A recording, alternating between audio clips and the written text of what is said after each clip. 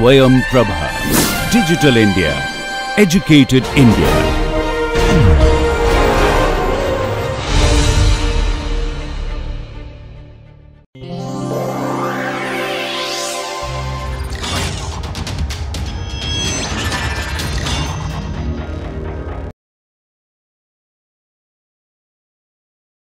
In the previous talk we talked about QR decomposition for the overdetermined case. QR decomposition can also be applied for the underdetermined case. I am going to quickly point out some of the uh, uh, key steps. Let again z is equal to h of x, h is m by n, m is less than n, m is the number of observations, n is the number of unknowns. I have more unknowns than the number of observations. In this case please remember I have done the QR decomposition of H m by n when m is greater than n. We have already done with that. In this case I have H m by n here m is less than n. If I took the transpose of this H that is n by m n is greater than m. So these two cases are the same if you interchange m and n.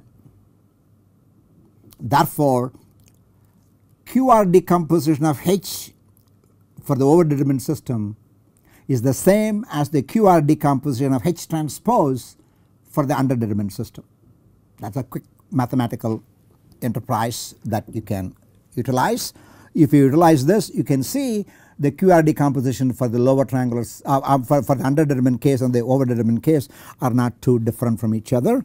So I can compute H transpose to QR as above since in this case n is greater than m by interchanging the role of m and n I can apply everything that we saw thus far. Q again is Q1 and Q2, R is again R1 and R1 R2, R1 is an upper triangular matrix, R2 is a 0 matrix, Q1 transpose Q1 is Im and H is equal to R transpose Q transpose. So essentially the whole thing flies without any much trouble at all. So in this case again um, uh, uh, my f of x is equal to square of the norm of the residual. So z is equal to so let us go back to the previous case the problem reduces to z is equal to uh, I am sorry H is equal to R, R, R transpose Q transpose. In view of that H z minus H of x I am sorry. In view of that z minus H of x I am sorry once again uh, let me let me correct myself. Uh, z minus H of x z minus H of x H is equal to R1 trans R transpose Q transpose therefore Z that Z minus HFX now becomes R transpose Q transpose X and this is what is used in here. So f of x is the square of the sum of the errors, errors represented this way. So this is an alternate expression for the residual which can be when multiplied can be given by this. You can compute the gradient of this. This is independent the first term is independent of x, this is linear in x, this is quadratic in x. From the module on multivariate calculus we know how to compute the gradient of a linear function, we know how to compute the gradient of a quadratic function. By applying those rules it can be verified that the gradient is given by this expression at the minimum gradient must be 0 I can also simultaneously compute the Hessian. So the solution for the least square problem is obtained by solving the gradient to be equal to 0 and that gives rise to this equation. So R R transpose Q transpose uh, uh, uh, XL that must be I am sorry X must be equal to RZ therefore if I change um, if, if I, I can multiply both sides by R inverse. If I multiply R inverse I get the I get the uh, overall solution. So to that extent I am now going to express various operations in here. Y is equal to q transpose x which is given by this partition form. R plus r transpose um, is essentially given by so there is no plus here. So, sorry. Uh, there is no plus here. Um, this is given by uh, this matrix this R1 R1 transpose 0 0. Therefore, if I assemble all these things I get this equation which is the equation I need to solve. R1 R1 is a non-singular matrix if I multiply both sides by R1 inverse I simply obtain the least square solution by solving R1 transpose Y1 is equal to Z. So this is again R1 is an upper triangular system, R1 transpose a lower triangular system.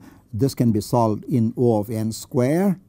So the whole theme of the exercise is whether it is overdetermined or underdetermined by invoking the QR decomposition of the rectangular matrix H in either case one can reduce the solution of the least square problem to one of solving a lower triangular system or an upper triangular system which is much easier to solve.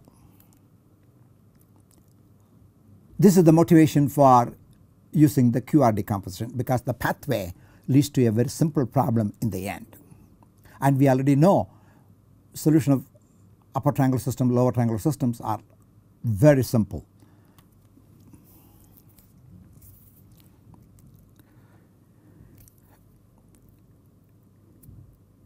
This is another look at the uh, uh, uh, uh least square solution. The least square solution is now given by x is equal to q of y in the case of underdetermined system. y is y1 y2 q is q1 q2 therefore x is equal to q1 y1 plus q2 y2.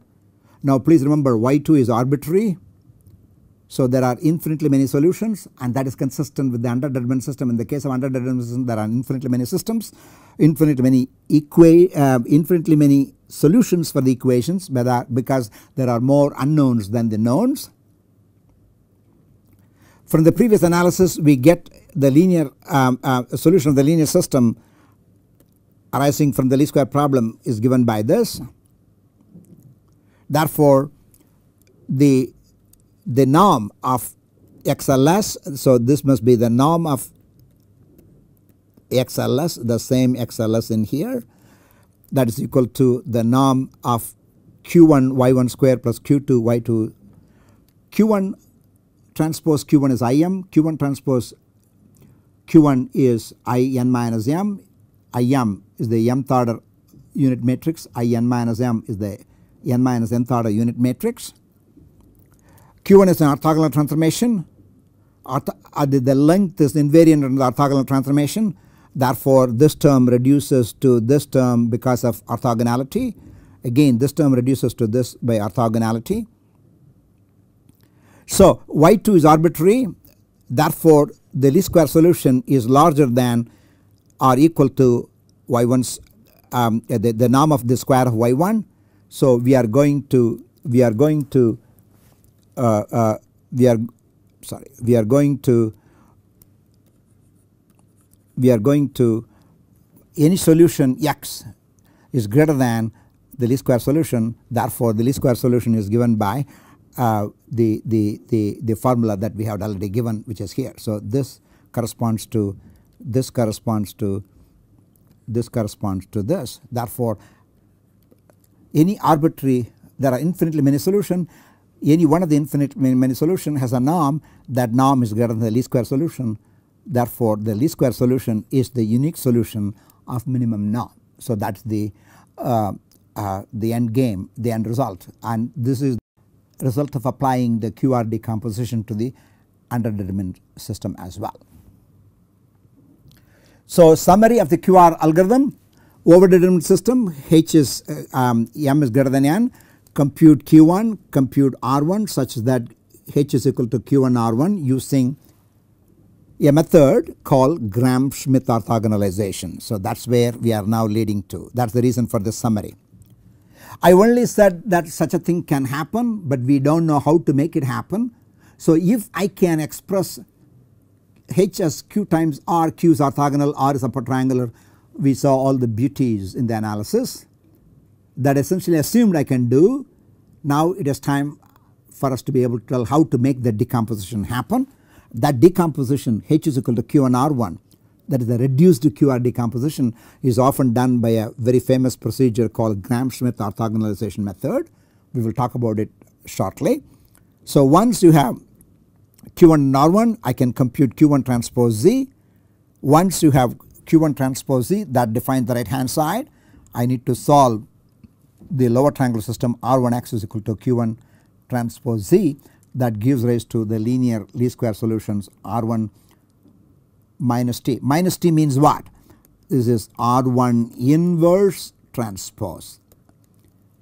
It is denoted by is also equal to R1 transpose inverse. So these two operations commute because they commute for simplicity in mathematics we simply call it minus T. So if I say minus T is a is a combination of two operations the order in which you apply these operations is immaterial these two operators commute.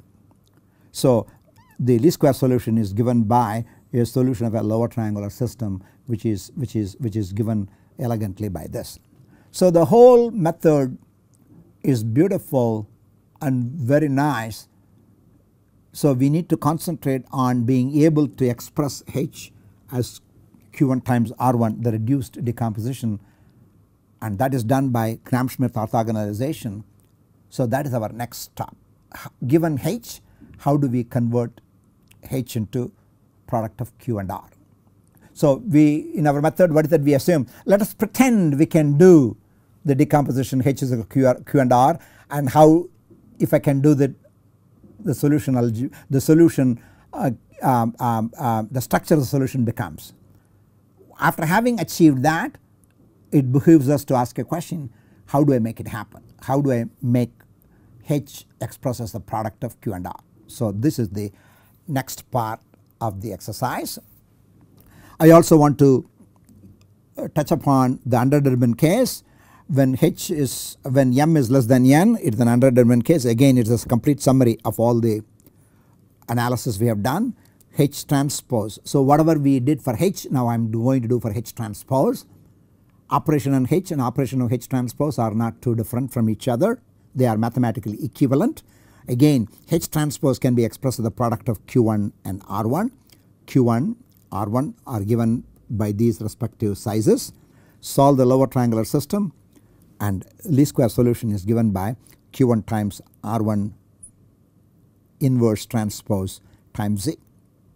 So with this we have completed a discussion of the QR transpose algorithm QR decomposition algorithm modulo the method for decomposition, QR decomposition. And that is given by the method called Gram-Schmidt orthogonalization. So now I am going to conjure up a, a, a, case and illustrate how given a matrix H and I can deliver the, the, the Q factor and the, and, the, and the R factor. To that end let let H be a matrix is the m by n matrix each of the HI's are a vector in Rm. So there are n vectors each of size n uh, each of size m i runs from 1 to n m is greater than uh, uh, n. So there are n columns each column have m rows. Let the uh, so I am going to assume um, the columns of H are linearly independent. So what does it imply? H is a full rank. So rank of H is equal to minimum of m n. In this case m is greater than n so minimum of m and n is n. If the rank of, um, of, of I am sorry rank of H that is what I should have said rank of H is equal to minimum of m and n is equal to n. So it is a full rank matrix and that is guaranteed by the columns of H being linearly independent. Now you can see the basic concepts from vector space theory comes into play right through. So what is our aim? Our aim is to be able to find a Q matrix with n columns which are Q1, Q2, Qn I would like the columns of Q, Q1, Q2 to be ortho, orthogonal system. In fact, it is an orthonormal system that is given by the following. If I took any two vectors with distinct entities i, i and j not equal, qi transpose qj is 0. If i is equal to j, qi transpose qi is 1. So this is orthonormal.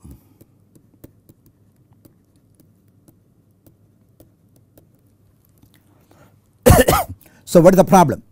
Given the columns of H, I need to find the columns of Q such that the columns of H are linearly independent but the columns of Q are orthonormal.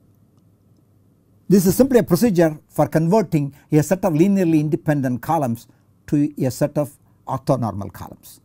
It is a very simple procedure and this procedure is, is very fundamental is used repeatedly in several different applications in linear algebra. We have already talked about the applications in solving linear least square problems.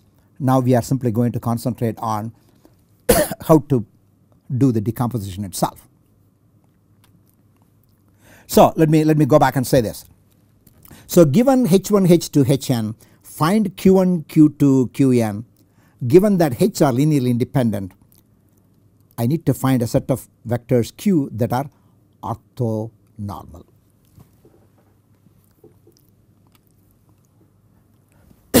so what is my first vector q1? First vector q1 is arbitrary I can start at any place. So what am I going to do? I am going to start with q1 is equal to my h1 divided by the norm of h the, the divided by the norm of h norm of h refers to the length of the vector h1. So R11 is the first element of R matrix. It refers to the norm of the vector h1 is, is the 2 norm of that. So if I divide the vector by its norm I get a unit vector. So u1 is a unit vector. So first vector u1 is very simple it is simply normalized version of h1. Now I need to compute q2. I am going to compute Q2 as a linear combination of H1 and H2. Q1 has already information about H1. So I am going to now express Q2 as 1 over R22 times H2 minus R12 times Q1. Please remember Q1 is known, H2 is known, R1, R12 is not known, R22 is not known. So there are two unknowns R12 and R22. How do I find these two unknowns? These two unknowns are found by imposing two conditions. What is the first condition? Q1, Q2 must be orthogonal to Q1 that is give rise to one value of one of the unknowns. Then the second one is obtained by forcing Q2 to be of unit length. So orthogonality condition and the normality condition two conditions are enforced by fixing two parameters. So if I were to require Q1 to be orthogonal to Q2 it requires 0 is equal to Q1 transpose Q2. The assumed form of Q2 is above I substitute this in here. Therefore, therefore why this is R12 I would I would I would have Q1 transpose Q1 is 1 please remember that I have already utilized in here Q1 transpose Q1 is equal to 1. Therefore when I equate this to 0 R12 is simply Q1 transpose H2. So I, I got one, one, one constant. What is R22? Now I know R12, I know Q1, I know H2 that is the vector. I can compute the norm of the vector. R22 essentially divides this vector by its length. So R22 must be the length of that vector which is H2 minus R12 Q1. So this gives rise to a formula for computing one of the course, uh, unknowns. This gives you a formula for computing the other unknown. So from the known I am computing the unknown. So here look at this now. I have recovered Q1, I have recovered Q2, I have recovered R11, I have recovered R12, I have recovered R22. So I am recovering both the systems simultaneously Q and R. So let us go back to a general uh, go to a general case when there are j unknowns in other words I can now express Qj So let us pretend I have found out q1, q2, q3 all the way up to qj minus 1. I am going to compute qj. qj is going to be expressed as a linear combination of all the previous vectors. hj qi has information about hi therefore I can express qj by the linear combination that is given here divided by a constant rj from the previous calculations you can readily see Rjj is going to be the normalizing constant Rij are the constants using which I am going to force the orthogonality. So Qj has to be orthogonal to Qj1, J2, uh, uh, Q1, Q2, Q3, Qj minus 1. So there are j minus 1 constants that are required to force the orthogonality. One constant is required to force the normality and and and and that's the that's the that's the clear story. So by multiplying qj by multiplying qi transpose qj for i less than j and equating to 0 I compute all the values of rij to be qi transpose hj. So I have computed j minus 1 such constants. Then rjj so this must be rjj is computed by the norm of the entire vector qjj. Uh, uh, therefore rjj is equal to hj minus the, the, the norm of that vector.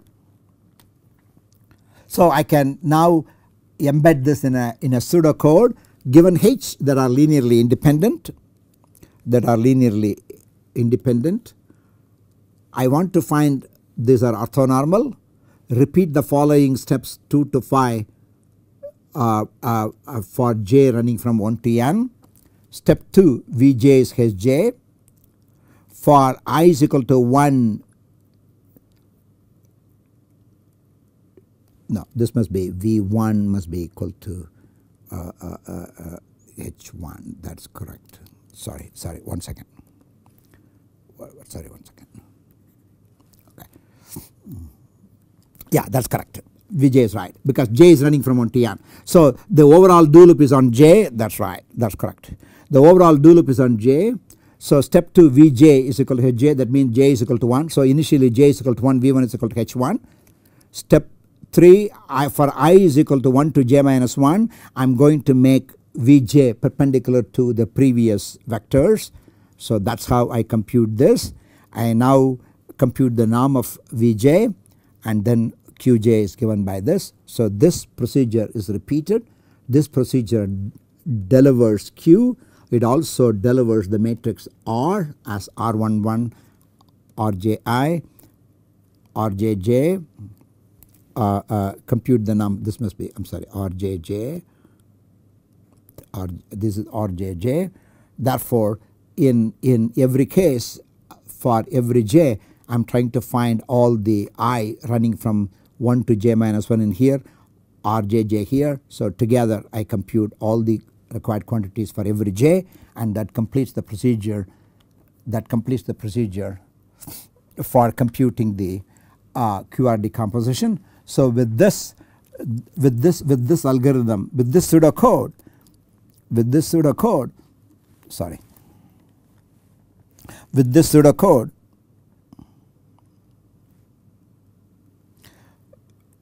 with this pseudo code we are able to express any Q H to be Q and R. R is upper triangular, Q is um, uh, orthonormal uh, and this is the reduced QR decomposition. The reduced QR decomposition. So here we saw how to multiply uh, how to uh, decompose H into a multiplicative decomposition QR I have already utilized if H is equal to QR how to utilize it in my in my in my in my solution process for the linear least square problems. These two together help you to solve the linear least square problem by the QR decomposition. So that is method 2. Now I am going to go for the last of the three matrix decomposition methods which is called the singular value decomposition singular value decomposition is acronymous SVD. This is the third alternative method for solving linear systems. I am going to assume my matrix H is again a full rank matrix. Given a rectangular matrix there are two Gramians H transpose H, H H transpose. Both the Gramians are of rank n or rank m they are full rank. Both of them are symmetric. Both of them are positive definite. In this case it is positive semi definite. If it is positive definite means all the eigenvalues are positive. If it is positive semi definite means the eigenvalues are 0 or positive that is the only difference between the two and when m is greater than n when m is greater than n this is the smaller Gramian because n is smaller this is the larger Gramian. When the rank of, H transpose H is n uh, it has n non-zero eigenvalues when the rank of H transpose H the rank of H itself is n therefore the rank H H transpose is deficient. If this rank deficient some of the eigenvalues in this case are allowed to be 0 that is why it is symmetric and positive to semi definite. That, that essentially comes from the, the, the rank conditions for product of matrices and the given rank of and the given rank of H and the given rank of H because we are considering the case m is greater than n that is fixed. But these two are two different uh, Gramians one is smaller another is larger. Because it is cheaper to work with smaller matrices. Now I am going to consider first the analysis eigen analysis of H transpose H. So consider H transpose H which is an n by n matrix. H transpose H by this definition is SPD therefore it has n eigenvalues which are the, the, the largest of them is lambda 1 the smallest of them is lambda n even the smallest of them is strictly positive. If lambda i is an eigenvalue let Vi be the corresponding eigenvector corresponding to eigenvalue lambda i for each i vector eigenvalue pair. So if these are the n different eigenvalue eigenvector pair for H transpose that means H transpose HVI is equal to lambda i Vi that is the fundamental relation that comes from the definition of eigenvalue. There are n such relations I am going to by invoking to matrix relation succinctly denote that n relation is our own single relation. To that end I am going to concoct a matrix V. The matrix V is simply n by n matrix whose n columns are the n eigenvectors of H transpose H. Lambda is a diagonal matrix whose diagonal elements are lambda 1 to lambda n. So V is a n by n matrix diagonal matrix lambda is also n by n matrix. We have already alluded to the fact that the eigenvectors of a real symmetric positive definite matrix are orthogonal to each other. Therefore V is again an orthogonal matrix. Now you can see orthogonal matrices are occurring again and again. One is QR decomposition now in eigen decomposition of symmetric positive definite matrices. So there are very many different uses of orthogonal matrices in, in different applications. If V is orthogonal V transpose V and V V transpose is equal to identity. Therefore this relation can be expressed succinctly as, as H transpose HV is equal to V lambda. If I, if I post multiply both sides by V transpose both uh, uh, uh, this relation comes to be that means H transpose H is equal to V lambda V transpose. This is called the eigen decomposition of H transpose H. This is called the eigen decomposition.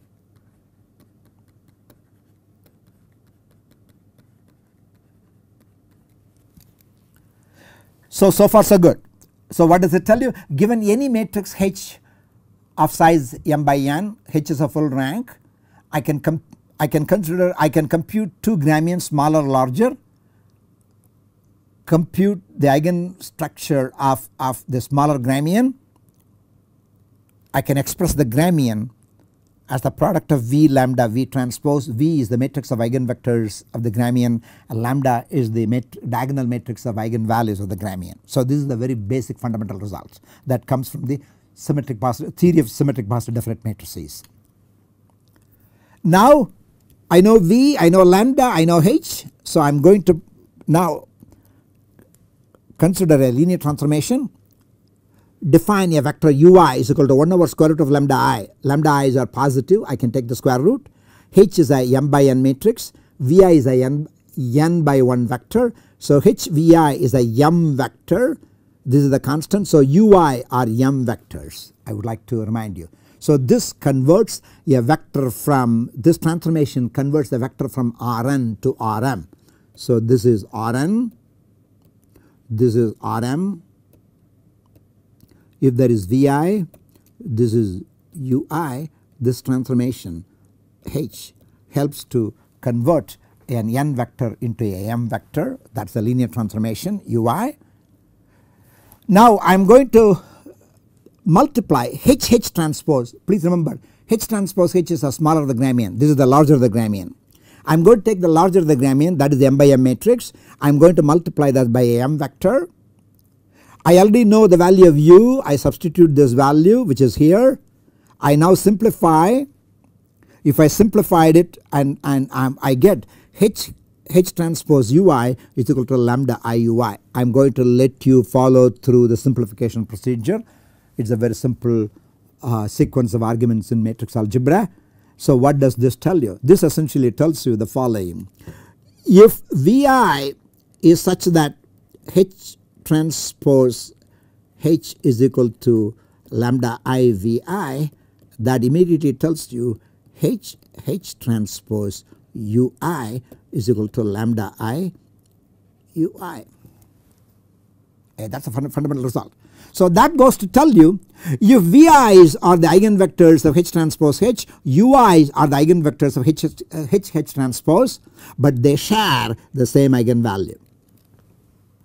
So they share the same non-zero eigenvalues. This matrix must have m eigenvalues. This matrix must have n eigenvalues. m is larger than n.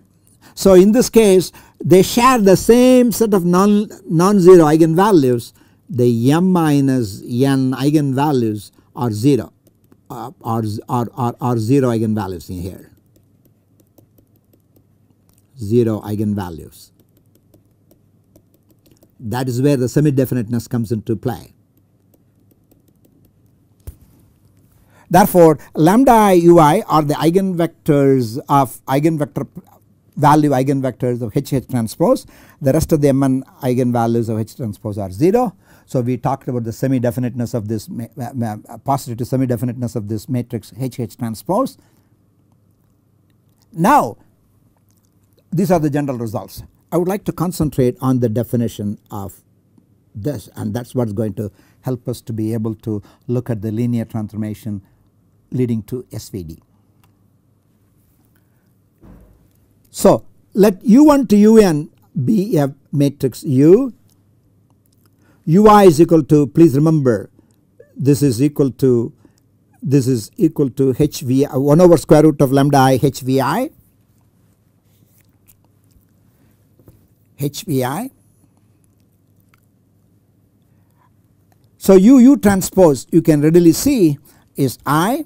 Therefore u u transpose has also the orthogonal property that one would require. I would like you to follow through this simple uh, relation. So that, that essentially tells you the columns of U are also orthonormal.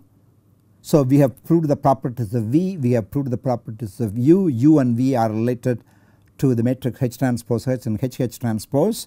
So we have seen all the eigenstructure eigen vectors of the two Gramians H transpose H and H H transpose.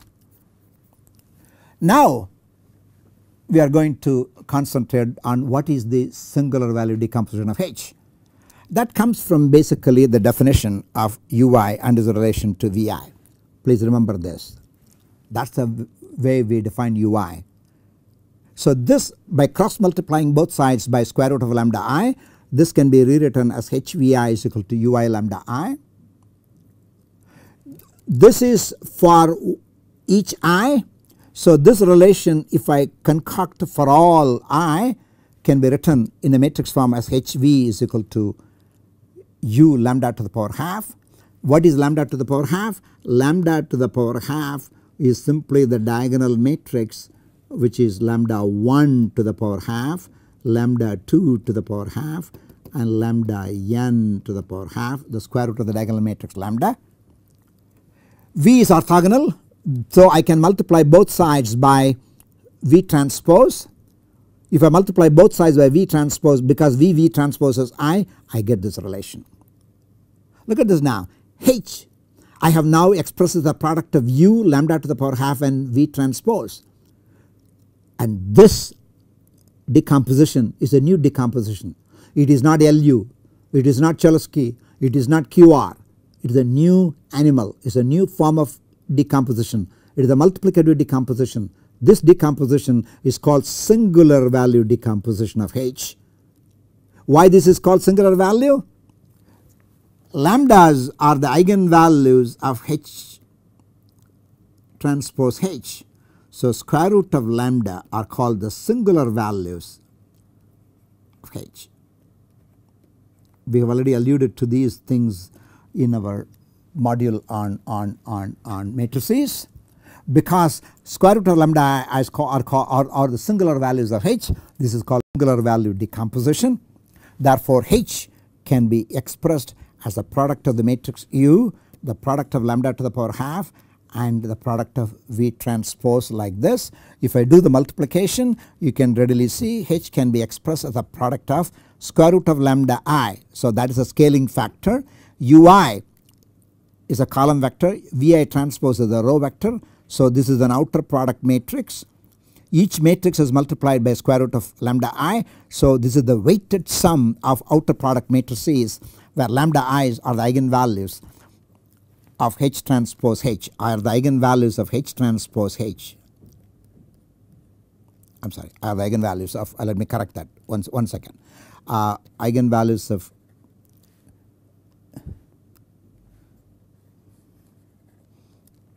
this must be this must be H transpose H. Lambda i's are eigenvalues of H transpose H and lambda i to the power half are the singular values of H by definition. Therefore this expression, this expression, this expression they are all called singular value decomposition of H. It is a very powerful device in fact, it is one of the most fundamental algorithms in numerical linear algebra. One of the important applications of this in, in, in, in, in numerical linear algebra is the following. Suppose somebody gives you a, a rectangular matrix H and asks you to find what is the rank of H. A computational process for determining the rank of H is to compute the Gramian H transpose H and do an eigenvalue decomposition and organize the eigenvalue in the decreasing order the number of non-zero or the number of positive eigenvalues is equal to the rank of the matrix. Therefore, this algorithm for computing the rank of the matrix using SVD is a very stable procedure for, for, for computing the rank. Not only it is used in computing the rank but also it can be used in, in, in, in solving the least square problems. So the Gram-Schmidt procedure, the SVD, the things that we have developed even though we have developed within the context of a specific aspect of inverse problems these algorithms are so fundamental to numerical linear algebra in computation each one of these find multitudes of application that is why these are considered to be some of the nuts and bolts of computational linear algebra. Now what? I have to come back and close the loop. I have expressed H in the form of SVD. If I am able to express H in the form of SVD how does it help me to solve the linear least square problem that is what I would like to come back to because the whole aim in these lectures is to solve inverse problem. So H z is equal to h of x I want to solve H is a full rank. I can express H as SVD u lambda to the power half V transpose here V V transpose V transpose V is In, U transpose U is In, the orthogonality of U and V are already established. So f of x is equal to z minus h of x transpose z minus h of x but I can express h as u lambda to the power half v transpose u lambda to the power v transpose. I multiply both sides I utilize all these properties it can be shown f of x is essentially this term. This is the constant term this is the linear term that is the quadratic term. So if I compute the gradient and equate it to 0 the gradient of this expression is given by the linear term is given by the first term the, the, the, the quadratic term is given by this this must be a plus instead of a minus. Therefore if I solve this system I simply have V lambda V transpose x is equal to V lambda to the power half U transpose Z. I can multiply both sides on the left by V transpose. I can multiply so if I multiply both sides by V transpose V transpose V lambda V transpose x must be equal to V transpose V lambda to the power half U transpose Z but this is I this is I dot that reduces to V U transpose I am sorry one second that leads to that leads to uh, this is I that is also equal to I we are left with lambda V transpose x is equal to lambda to the power half u transpose z. Now I can multiply both sides by lambda to the power uh, um, uh, inverse lambda inverse. So if I multiply lambda inverse lambda uh, uh v transpose x is equal to lambda minus 1 lambda to the power half u transpose z. This is equal to i this is equal to lambda to the power minus half you can readily see that is equal to lambda to the power minus half I hope you can see that maybe maybe I will write that clearly. Uh, this so this is equal to this is equal to lambda to the power minus half u transpose u transpose z therefore v transpose x is equal to lambda to the power minus half u transpose z. I again multiply both sides by v, v v transpose x is equal to v lambda to the power minus half lambda to the power minus half u transpose z. So this gives it x is equal to v lambda to the power minus half u transpose z. Beautiful. So that is the least square solution. Therefore, if I am able to express my h to be equal to u lambda to the power half v transpose v transpose I have found u I know lambda to the power half I know v transpose I, I use v I use lambda to the power half here uh, and u so all the factors are used here so I can readily use the factors that I find in the SVD and express my least square solution to be this. Now this is a very beautiful interpretation. So Z is the observation vector is given to me. U transpose is an orthogonal transformation. Orthogonal transformation essentially rotate. They don't elongate or shrink. So U transpose Z is simply a rotated vector Z. Then I multiply it by lambda to the power minus half diagonal elements. So that essentially is scaling. So this is rotation. So I am going to give a geometric filling this is rotation. Multiplying this is scaling and then V is again orthogonal that is again rotation.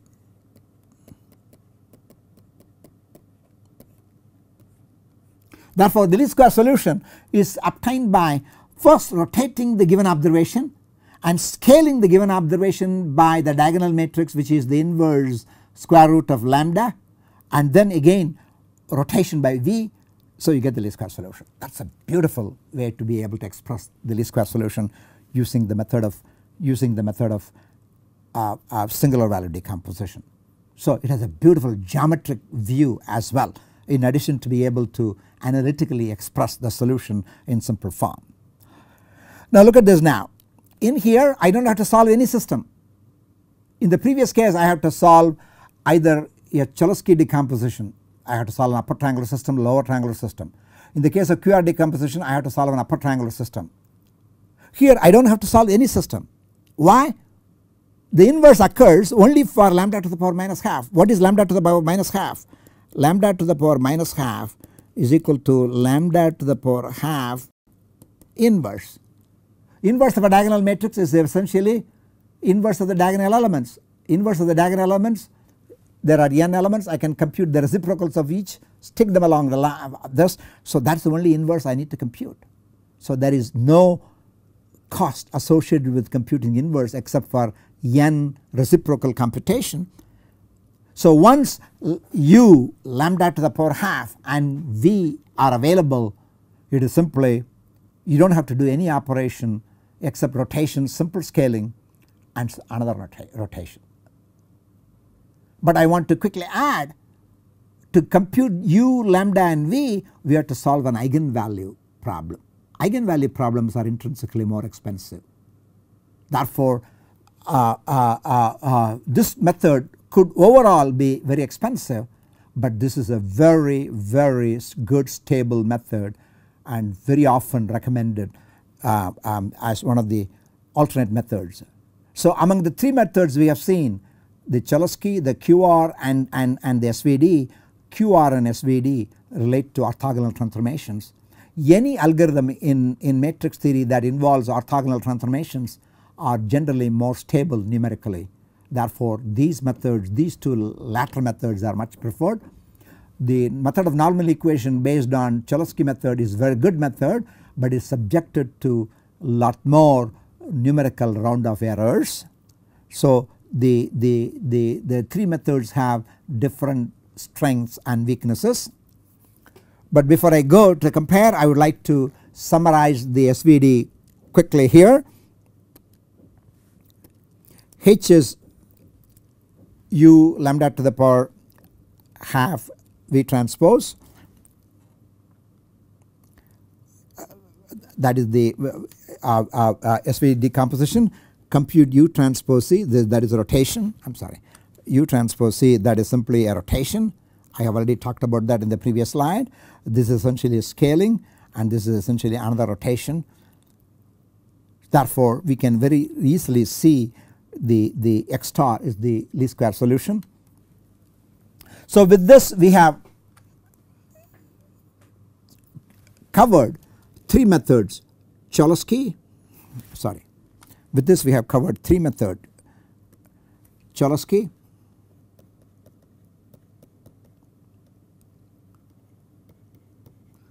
QR and SVD these two involve orthogonal methods, orthogonal matrices. This method essentially is a variant of LU decomposition. Uh, Cholesky method is computationally not as stable in the sense of numerical round off as QR and SVD. So when you are trying to learn these methods it is better to take one particular problem and solve it by 3 methods when you when I say solve it the 3 methods I have given you algorithm for each of these. So you can develop your own subroutine to do Cholesky, your own subroutine for QR, your own subroutine for SVD. So this way you can develop your own mathematical packages ground from ground up so that you do not have to depend on any built in library such as MATLAB library or C library or Fortran library. This way you can develop mathematical software to solve data assimilation problems from ground up rather independently from by, by using most of the basic algorithms. There are lots of exercises we have we have given. I would like to encourage the reader to work through all these examples. In fact uh, uh, working through these examples is a fundamental aspect of uh, thorough understanding I also would like you to develop your own MATLAB program that is the important thing you can develop your own MATLAB program. You may say hey MATLAB has already has this program why do I do this but that is an exercise. Suppose you work you want to go to work for a national agency such as a meteorological forecasting agency They may try to develop all these systems ground up independent of any existing libraries because they would like to have a better control over everything. So in order to be employed, in order to be able to develop such systems you must do an exercise in developing these programs. So LU decomposition, solving lower upper triangular systems, Cholesky decomposition, Gram-Schmidt method, SVD. I would like you to be able to program these methods and compare them and that is a very good part of the exercise. These are other examples. These modules follow closely developments in chapter 9 of our book. We are not considering iterative methods. Iterative methods for solving linear systems are covered in several excellent textbooks Golub and Van Loan as well as Hageman and Young. Uh, so in view of time we will not be able to cover the iterative methods. Direct methods we covered, iterative methods are pursued in here. With this I believe I have provided you a very good summary of matrix methods especially direct methods to solve linearly square problems. Thank you.